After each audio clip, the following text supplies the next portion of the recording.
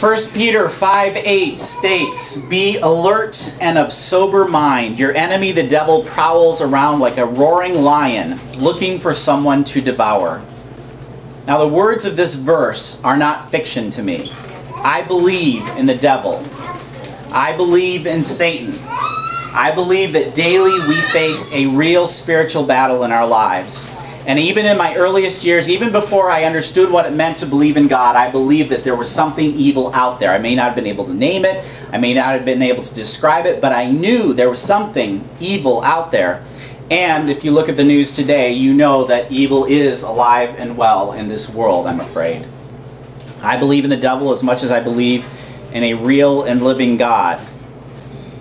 As 1 Peter states, the devil prowls around like a roaring lion looking for someone to devour. Now that verse might lull you to sleep because you might look at that verse and say, well, if he's a roaring lion, it should be obvious where the devil is. We should be able to spot the devil at any time in the tricks of the devil, right? Wrong. The devil may roar like a lion, but the devil is also stealthy like a lion. And the devil does one more thing that makes it very hard for you and me. The devil doesn't play fair.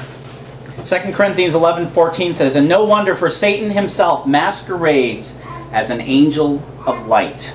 I love that word masquerades. It describes perfectly how the devil works. The devil convinces us that wrong is right, down is up, and what we are seeing is not what we're seeing. No, Dawson, you don't get a Dorito, I'm afraid. sounds like sounds like he's in. boy. Masquerades is a word that perfectly describes how the devil works. The devil tries to convince us that the opposite is true. And what is the best tool in the devil's toolbox? Temptation. Why is temptation so tempting? Because it doesn't look like temptation.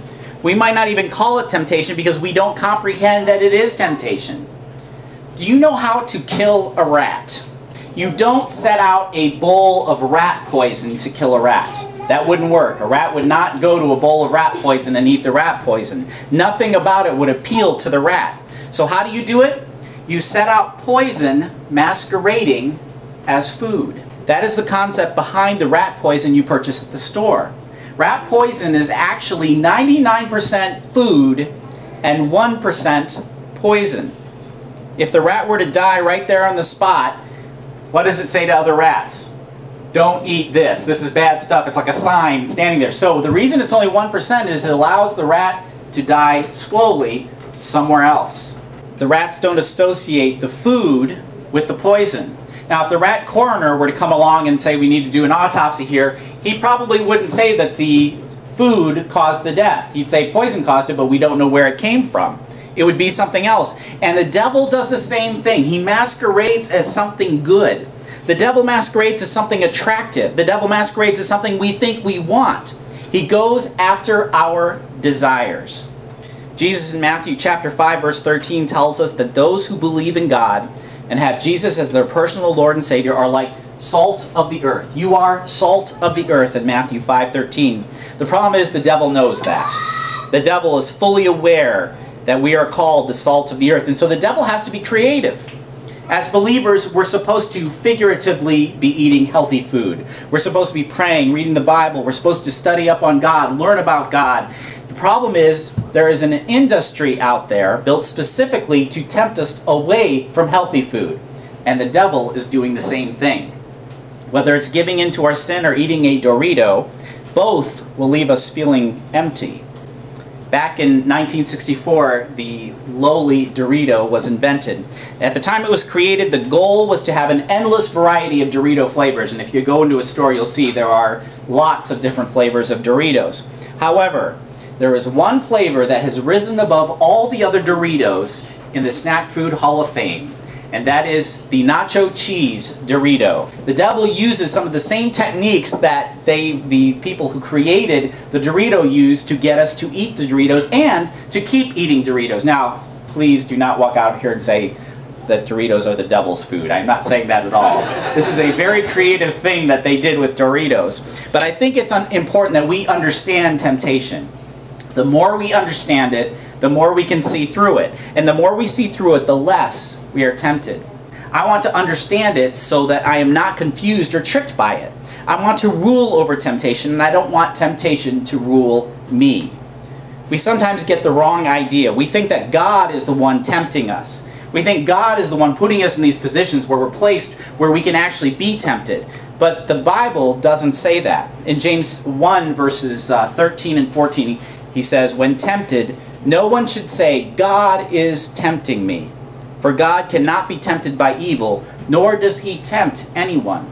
But each person is tempted when they are dragged away by their own evil desire and enticed. It is us. It is our desire.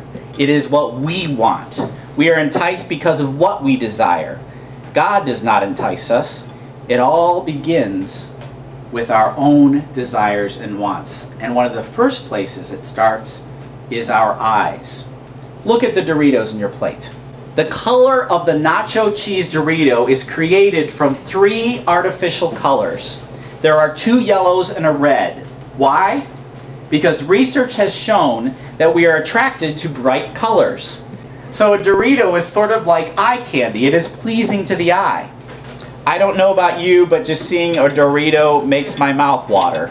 Suddenly it is the only thing on my mind. It's all I can think about because that's what I want. That's what I want to taste. Some of you right now are having trouble with your saliva. Little drools beginning to come down the side of your face because you're struggling with the fact that you've got two Doritos sitting right in front of you and you already know what it tastes like and therefore you want it. You desire it. Each of us is tempted by something different something different gets at us. And the devil knows that. And the devil goes after those things that are most tempting to us. Now, obviously, research has gone into what these are and how these work. So let's go ahead and, and take a bite, if you like. You don't have to if you don't want to, but go ahead and you can eat one of the chips if you feel like.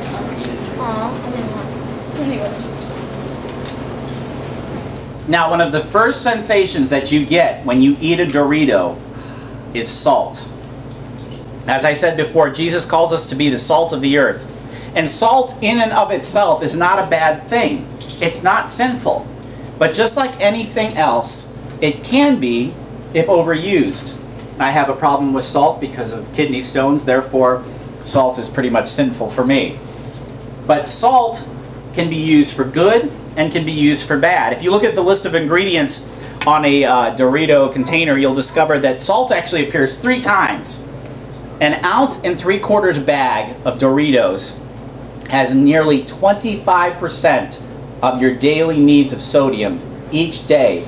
Just a little tiny bag, 25%. So you're pretty much done just by eating that chip. You're done with salt for the day. You can't have any more. That's it. That's how much salt is in there. That is a lot of salt. And the salt in the nacho cheese Dorito is used for a specific purpose. It delivers to your tongue what they call a flavor burst. It dissolves instantly when it hits your mouth and sets off the salt receptors in your tongue. Immediately your tongue sends signals to the pleasure center of your center of your brain. And what is it telling your brain to do? Eat another one. Eat more chips. Well, guess what?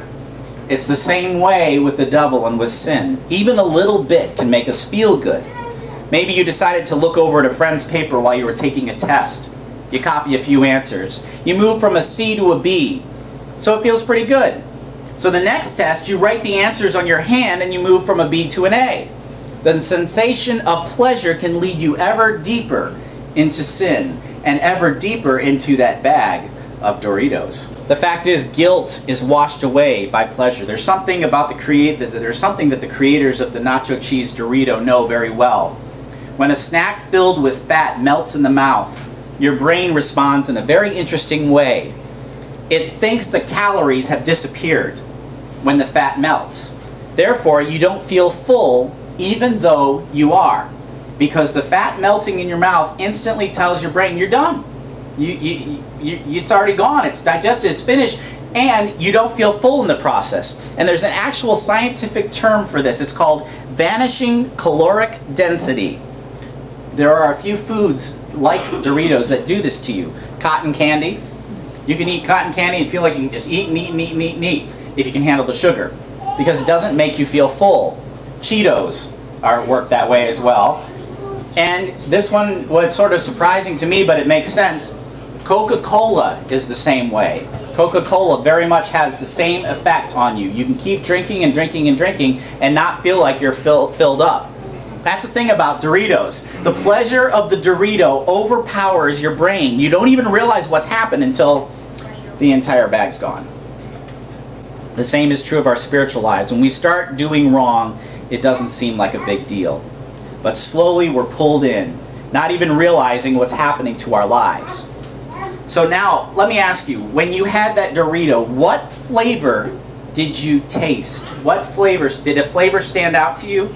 Because Doritos are made in such a way that you're sort of hit with all these flavors at once. No single flavor actually stands out above the others. If one flavor did stand out, you would eat a few and be done. The reason? A specific flavor will make you feel full. But because all of the chip, the chip has had all these flavors put into it, they're carefully mixed so none stand out on its own. It makes you want to eat more. If you were to have a bag of rosemary chips, doesn't sound good to me, but if you were to have a bag filled with chips that were flavored with rosemary, how many would you eat? Not very many. yeah, some people would, some people wouldn't even pick up the bag in the first place. But if you have if you have a specific flavor that stands out, there's something that happens in the brain that tells you you're full very quickly because that flavor is so strong. But in nacho cheese Dorito, all Doritos, all of the flavors are mixed together. Therefore, not one stands out to get you. Sin has a way of sneaking up on us in such a way that it doesn't stand out. It disappears into the little corners of our lives. We rationalize what we're doing. We say, "Oh, this is only a little thing." But if we take all of those little things and put them together, it isn't trivial anymore. Those of you who have touched your Doritos, look at your fingers. You may notice a little bit of what researchers call gold dust from the chips. this is known as, uh, there's actually an Urban Dictionary term for this called Dorito finger. The Urban Dictionary def de uh, defines Dorito finger as the medical condition you get when you have just finished polishing off a family-sized bag of nacho cheese flavored Doritos, and you have all of the cheese on your fingertips, giving them an orange color. Apparently it's a medical condition. The only known remedies are sucking on your finger until the cheese comes off or wiping off the cheese on your pants. the uh, Urban Dictionary even gives an example of Dorito finger in common usage. Person 1. Hey man, you want to play rock, paper, scissors? Nah bro, I got a bad case of Dorito finger. Even Dorito Finger is part of the overall plan to get you to eat more chips. The blend of the flavors are ground into the tiniest particles before they're applied to a nacho cheese Dorito. That finely ground powder fills every nook and cranny on those chips. If you look at those chips, every part of it is covered with that powder, that gold dust that gives you the Dorito finger. This intensifies the experience and makes sure that the most amount of flavor possible hits your tongue as you eat the chip. This is why we end up with the Dorito dust on our fingers. And they even know this. When you lick the dust from your fingers, it makes you want another one because it intensifies the flavor when it's not attached to the chip anymore. Sin in our lives is the same way. It fills in all those nooks and crannies of our lives and gets on our fingers. But it doesn't just get on us. People notice. People notice when you have Dorito finger. When I go over the speed limit, little eyes are peering from the back seat. They see what I'm doing. There's a little bit of Dorito dust there. When we're in the grocery store in the produce section and slip a grape into our mouth and think no one's watching, it's a little bit of Dorito dust. In that moment when somebody gives us too much change at the checkout, and it's a big enough amount that the cashier's drawer is going to be off at the end of the day, and we figure, well, that's their mistake. That's a little bit of Dorito dust when we cheat on our taxes, just a little, oh, you know, I, I know I shouldn't be writing this off, but I think I'm going to do it anyway. A little bit of Dorito dust. Doritos are created in such a way that once we eat that first chip, we want more. It really is an amazing creation. It really isn't easy to overcome the Dorito.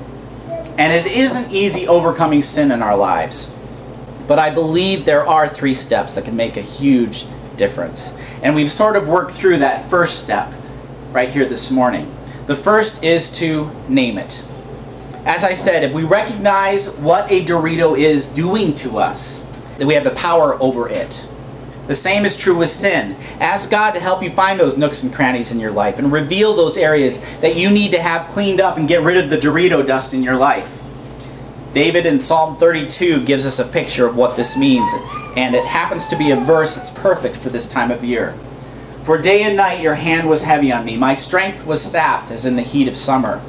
Then I acknowledged my sin to you and did not cover up my iniquity. I said, I will confess my transgressions to the Lord and you forgave the guilt of my sin. Name it. Name it. And then admit it. Don't let it control you. Overcoming takes place when we decide that we're not going to do it anymore. Those little sins in our lives that we have scattered. When we make the decision to name it and then admit it, we're making a step to what the Bible calls repent. It literally means that you're walking one way and you decide to turn and go the opposite way. How can I stop eating Doritos? Well, in my case, it's by not having them in the house. It's a known fact if there are chips of any kind in our home, they will end up in my stomach. So how do we stop this? By making sure there are no chips in my home. I have to admit it. That's the case. I have to admit. That's the only way. And there's usually chips in the house. okay, uh, Riley, stop talking.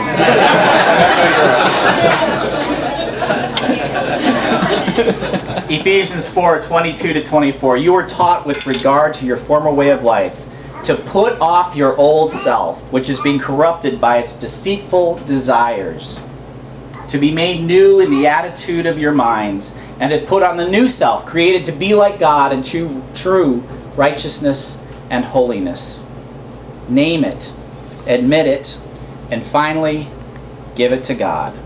A Dorito is a powerful, powerful thing. It is amazing. This little invention right here is quite amazing when you think about what they've done with all it is is a snack food. And yet when you're done, you want more. They know that. That's why they designed the Dorito the way they did. A lot of research has gone into making that a very desirable thing because they want you obviously to buy more. Sin is a powerful thing. Satan is researching every way and every day to sneak into your life. And overcoming isn't easy. We have a battle on our hands, and the only way the battle can be won is by giving it to God. I began this message with a verse from 1 Peter chapter 5. Be alert and of sober mind. Your enemy, the devil, prowls around like a roaring lion, looking for someone to devour. I love the rest of this section. Resist him, standing firm in the faith, because you know that the family of believers throughout the world is undergoing the same kind of sufferings. And the God of all grace, who called you to his eternal glory in Christ, after you have suffered a little while, will himself restore you and make you strong, firm, and steadfast. It's easy to give up. It's easy to give in. That bag of Doritos in our house doesn't last long because it's easy to give in. Sin is so easy to give in. The hardest thing to do is to overcome. The hardest thing to do is to overcome the Dorito. The hardest thing to do in our lives is to overcome sin. But if we name it, admit it, we understand it, and then give it to God, it makes all the difference in the world.